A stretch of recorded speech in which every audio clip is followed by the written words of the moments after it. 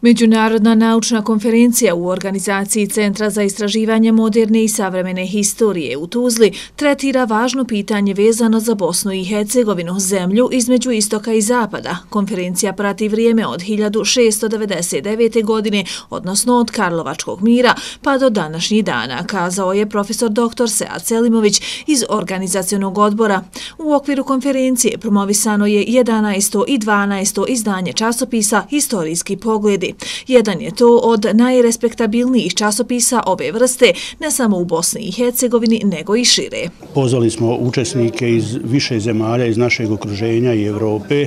Dakle, to je tradicionalna konferencija koja se održava svake godine u organizaciji Centra za istraživanje moderne i savremene e, historije Tuzla a naši gosti su naravno vrhunski profesori, istraživači sa više instituta i univerziteta u Evropi, ne samo iz našeg okruženja.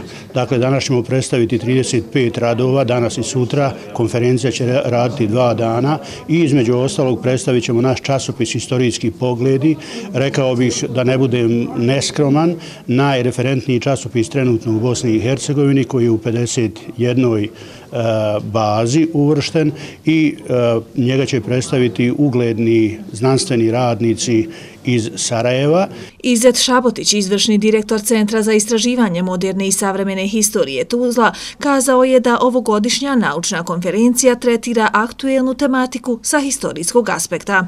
I ona se ovaj e, danas e, sagledava sa ove historijske distance kroz praćenje ti dugi istorijski procesa i tokova.